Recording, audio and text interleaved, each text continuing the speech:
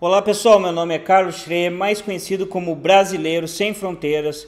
Aqui nós falamos sobre internacionalização e tudo que tem a ver com a teoria das bandeiras, que é você se diversificar com relação a diversas situações da sua vida, diversas características da sua vida, como você conseguir uma segunda cidadania, ter outro passaporte, você conseguir uma residência por domicílio em outro país, você ter a carteira de identidade, o direito de viver naquele outro país, você trocar a sua residência fiscal para outro país, para você poder pagar menos impostos, viver naquele país, né? Você abrir uma empresa offshore, você abrir uma conta bancária offshore, você fazer investimentos imobiliários, investimentos financeiros e por aí vai. Bom, hoje nós vamos falar sobre como você pode deixar uma herança para sua esposa ou para o seu esposo e para os seus filhos, sem possuir patrimônio e sem pagar impostos nessa herança, certo? Parece que é um negócio impossível, mas não é. Existe essa opção. É claro que nada é de graça no mundo, nada é, é, e, e assim você vai ter que pagar por isso, com certeza. Mas são estratégias e estratégias uh, feitas por, por advogados, por milionários, e isso é muito normal, tá? principalmente nos Estados Unidos. Os Estados Unidos, pessoal, ele é um país é, formado tá? por seguros. É, tudo tem seguro, tudo. Lá você é obrigado a ter diversos seguros. Você não é obrigado a ter seguro de saúde, mas logo vai ser, tá? Você não é, você é obrigado, você não é obrigado a ter seguro de vida, que é o que a gente vai falar aqui agora, mas logo vai ser também.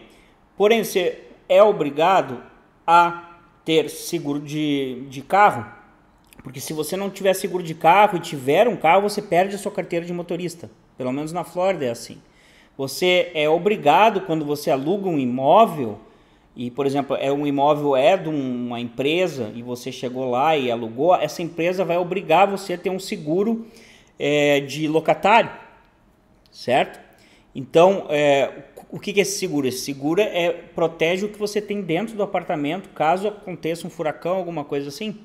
E você, eles entregam o apartamento, né, o casco do apartamento, mas as coisas que você tinha dentro que foram perdidas você não tem mais, então eles obrigam você a fazer esse seguro. Então, é, existe diversos tipos de seguro nos Estados Unidos e os, e os Estados Unidos é, possui empresas centenárias de seguro, tá? seguradoras centenárias. E também essas corretoras de seguro que vendem esses seguros. Tá? Isso dá muito dinheiro nos Estados Unidos, muito mesmo. E muitas dessas empresas trabalham com seguros internacionais. E elas prestam serviço também para os bancos, certo? Então, o que, que a gente vai falar aqui? Eu, nos Estados Unidos, estudei ciência atuarial. Eu estudei na faculdade no Brasil também. É, quando eu fiz a faculdade de economia, eu estudei ciência atuarial, certo? E quando estava nos Estados Unidos, eu estudei é, seguro de vida e seguro saúde. Tirei a licença. Hoje eu não trabalho com isso, Porém, eu tenho pessoas na minha empresa que trabalham com isso, se vocês quiserem é, fazer algum tipo de seguro. Mas aqui nesse vídeo eu vou dar dicas para vocês, mesmo que vocês não queiram trabalhar com a gente nesse, é, nesse sentido, nesse tema, certo?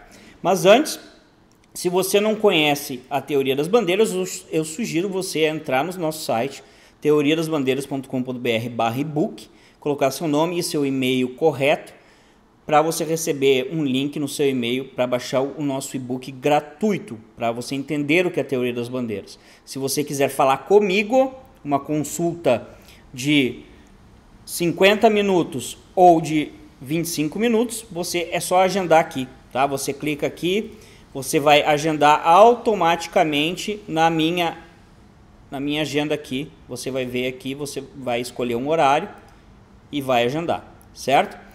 Porém, se você quiser aprender mais sobre o que a gente fala aqui, inclusive essa aula sobre seguros que a gente tem aqui, ó, seguro de vida internacional, a gente tem essa aula na comunidade.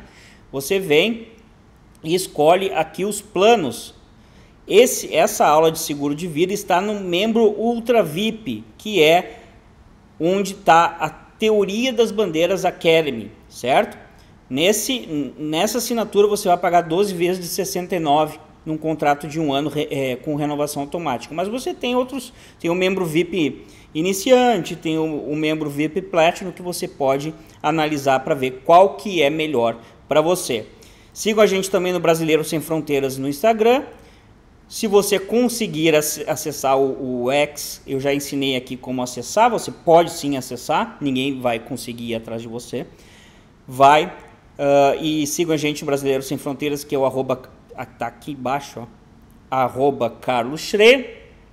Siga o canal da minha esposa Brasileira Sem Fronteiras no YouTube.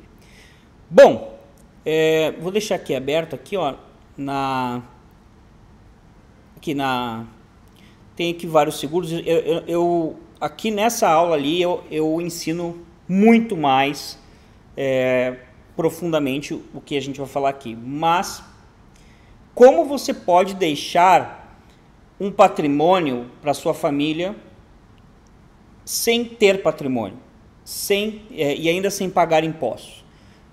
Bom, primeiramente eu, é, você tem que. A forma mais fácil de fazer isso, e não faça isso no Brasil, tá? Não faça seguro de vida no Brasil. Não presta, as seguradoras não prestam no Brasil e elas fazem investimentos que não prestam. Não faça isso no Brasil. Porém, você pode fazer isso em moeda forte fora do Brasil. Existe duas formas de fazer isso.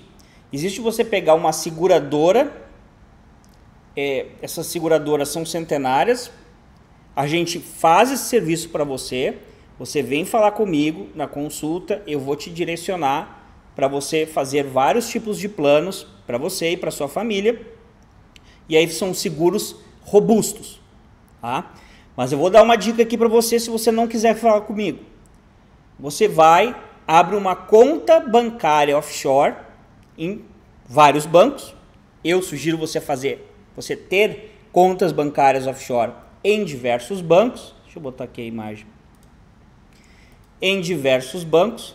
Por exemplo, se você conseguir abrir uma conta bancária nos Estados Unidos, dá para você abrir pelo Banco do Brasil América, pelo BTG Estados Unidos, pelo Safra Estados Unidos, nos Estados Unidos, não esqueçam, não é no Brasil, nos Estados Unidos.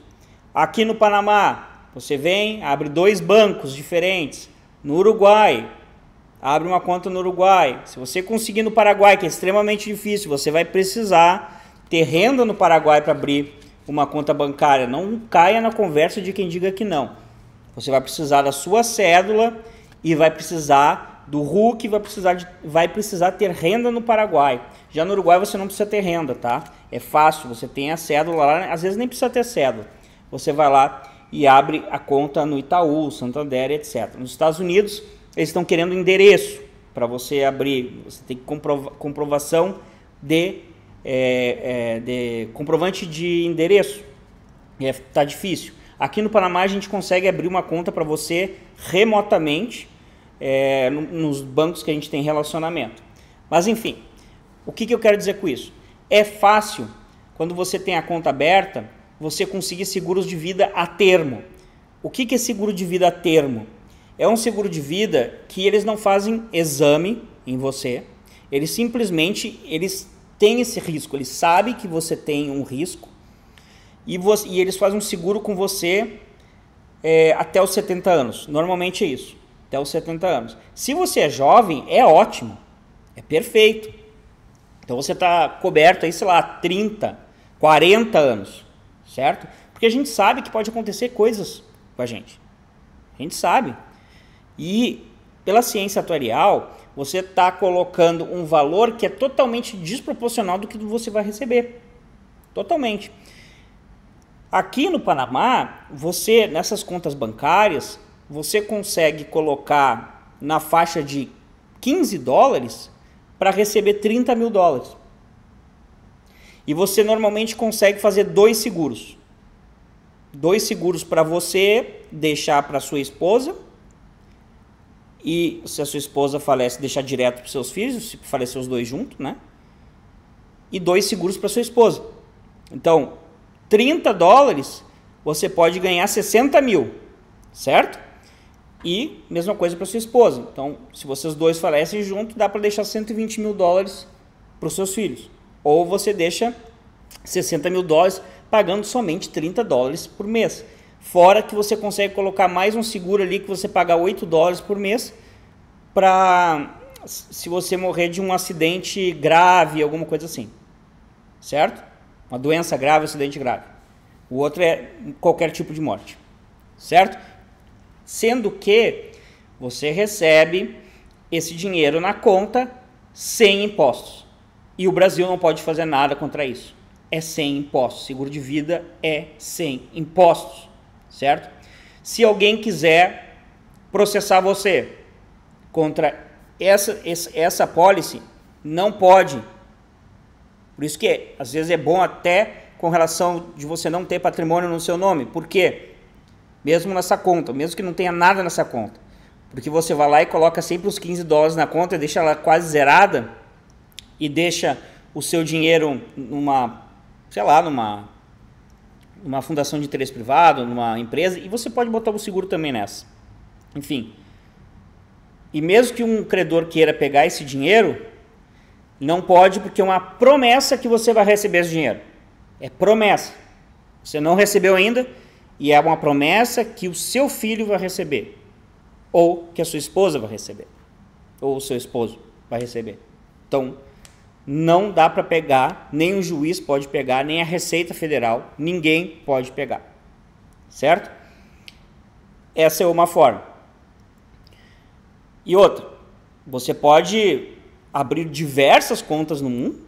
Eu estou falando de um banco. Normalmente o banco faz duas aportes, vai, vai você vai receber 60 mil num banco, mas quem disse que você não pode vir aqui no Panamá e abrir três bancos?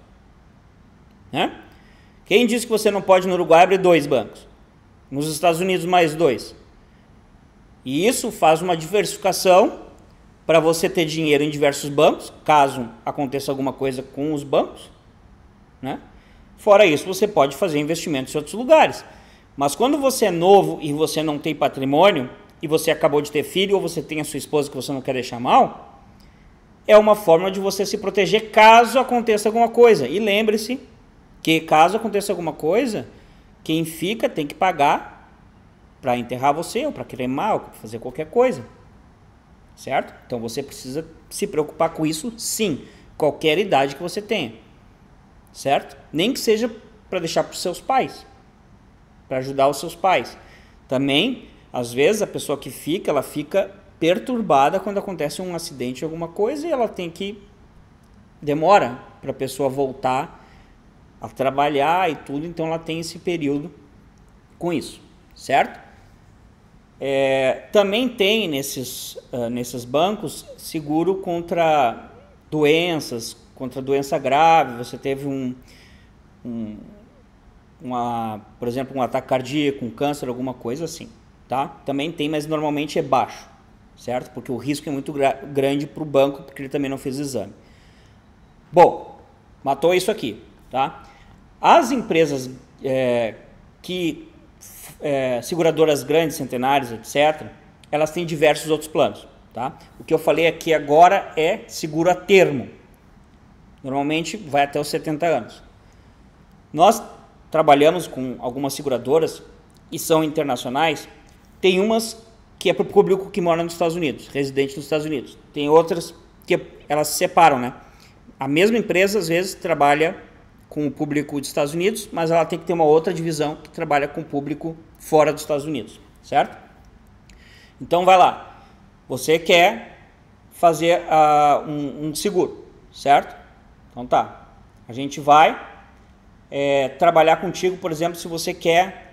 É, nós temos planos também que você não precisa fazer é, exame nem nada. Você faz um seguro a termo você paga, sei lá, na faixa de 30 dólares ou 40 dólares, e aí dá para jogar com esse dinheiro e ganhar tipo 250 mil dólares. É muito maior, certo? E aí o, o certo é fazer você para sua esposa, sua esposa para você e tem gente que também já faz e é desproporcional, quanto mais novo, mais barato para criança que nasce. Certo? Isso a termo, sem exame. Aí também tem o seguro Universal Life, que às vezes é chamado de Whole Life.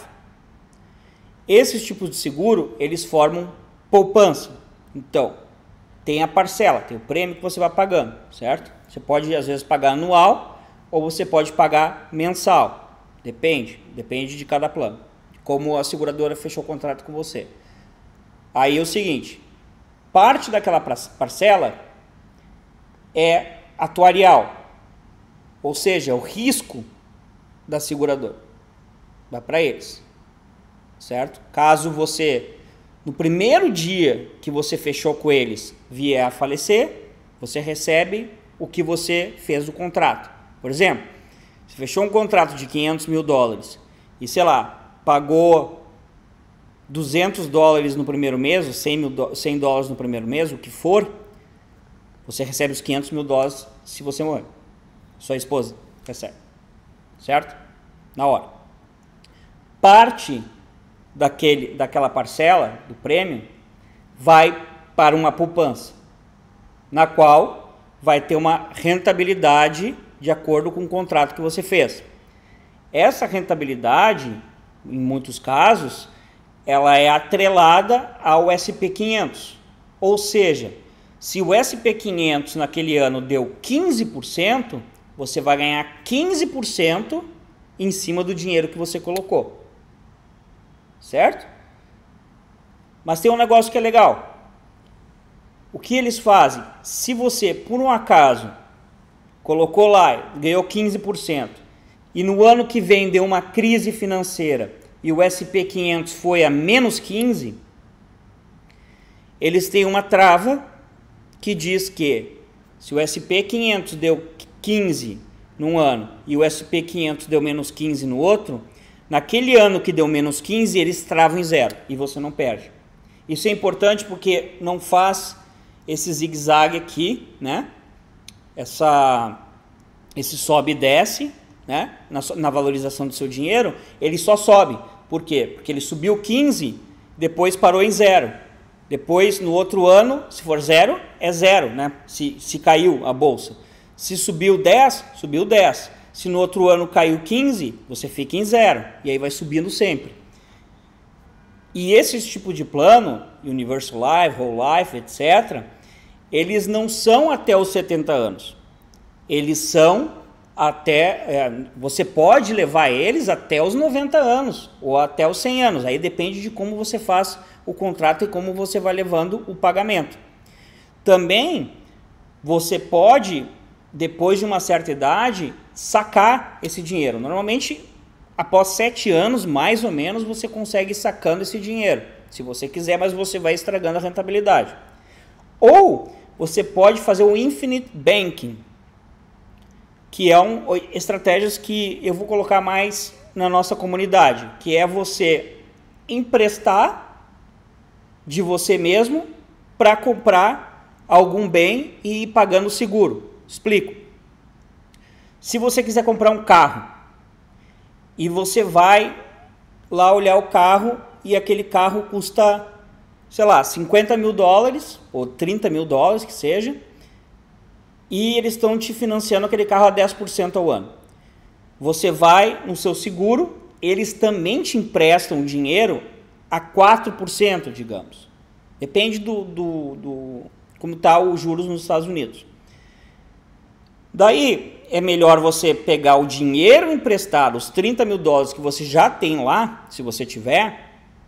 Não dá para pegar tudo, porque se você sacar tudo, acaba a pólice. Você tem um limite para pegar. Você pega aquele dinheiro, paga o carro à vista e você se paga você mesmo, por isso que é Infinite Banking. Você paga você mesmo a 4% ao invés de 10% para o banco o, o, o seu carro, você financia o seu próprio carro. E você pode fazer com outras coisas. Tem gente que faz, é, se precisa investir na sua, na sua empresa ou investir comprando casas e etc. Faz, é, empresta da sua própria pólice, certo? Tem outras coisas. Você pode comprar riders, né? Que são opções, são, são plus, que você pode ter doenças graves, por exemplo. Você tem uh, um morte, né? Que você ganha toda a bolada. Digamos que você fechou lá em 500 mil dólares. Você vai levando até certa idade ali que você consegue fazer um cálculo e lá pelos 60, 70 anos você consegue sacar boa parte da poupança e deixar o seguro até os, até os 80 e poucos anos, 90 anos. Se você não sacar nada e deixar mais tempo, você faz, ao invés de 500 mil dólares que você fechou, você pode aumentar isso a 700, 800, até mais. Depende de quando você vai sacando da poupança. Se você quiser sacar a poupança, ou se você quiser ter um, uma aposentadoria, etc., você pode brincar com isso. Tá? Agora, você também pode ter riders de doenças graves, por exemplo, um câncer, um ataque cardíaco e receber 90% da apólice em vida. Ou, e aí acaba a apólice, né? Ou 30% da apólice, dependendo do que acontecer. Em vida. Se você tiver uma doença é, terminal, ah, falta um ano para você viver, para morrer, ou dois anos, você recebe todo o dinheiro em vida para você aproveitar. Então, estratégias com seguro de vida sempre foram importantes para, para os ricos. Por exemplo, você faz um seguro a termo, talvez, se você estiver financiando uma casa nos Estados Unidos. E caso é, com, com o valor do financiamento, por exemplo, você financiou 300 mil dólares para uma casa. Você faz um seguro com o mesmo valor de 300 mil dólares. Caso você venha a falecer, a sua família, que não poderia pagar o valor da casa, o seguro mesmo banca a casa. Certo? Existe também a faculdade do seu filho. Você tem que pagar lá 100 mil dólares de faculdade do seu filho. Você faz um seguro no valor de 100 mil dólares que paga o valor da faculdade do seu filho se você vier a falecer antes disso. Então, é uma forma de você deixar uma herança para os seus filhos ou seus entes queridos, ou quem quer que seja, porque é outra coisa que é importante. No Brasil, você é obrigado a deixar 50% da sua herança para sua esposa e seus filhos. Os outros 50% da herança você pode decidir o que você vai fazer, né? Nos Estados Unidos, com relação ao seguro, você pode deixar para quem você quiser, até para o seu cachorro. Entendeu? Então isso também você pode jogar. Então o interessante é que, digamos que você é uma pessoa nova, 30, 40 anos, e ainda não fez um patrimônio, ou fez um patrimônio pequeno, e você quer fazer alguma coisa desproporcional, porque você acha que até os 70 anos você vai fazer patrimônio, mas ainda não tem, Caso você não chegue até os 70 anos, você quer deixar todo mundo bem, e você consegue fazer até um milhão de dólares, 500 mil dólares, coisas bem desproporcionais, investindo, sei lá, 100 dólares por mês, 200 dólares por mês, depende da sua saúde.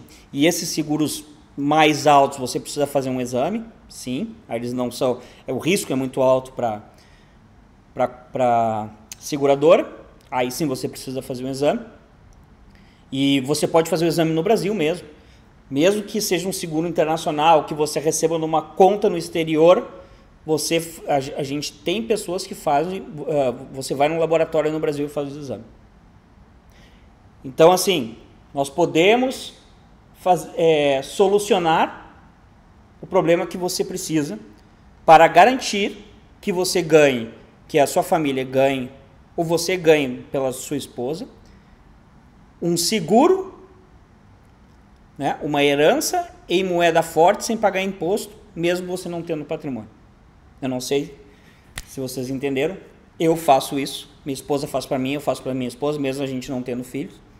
Obviamente, se nós dois morremos junto, quem ganha são meus pais. Eu acho extremamente importante, mesmo que eu vou fazendo patrimônio, porque se eu não chego aos 70 anos, pelo menos é, tudo se resolve no melhor, na, da melhor forma. É claro que eu não sou bobo, eu faço vários. cada conta bancária offshore que você abre, você faz um seguro no máximo que eles permitem pelo risco deles. Isso é estratégia, isso é teoria das bandeiras. Se você quer é, conhecer mais estratégias aprofundadas, tá? É, mais específicas também, você vem na nossa comunidade, todos os links aqui na descrição no primeiro comentário fixado.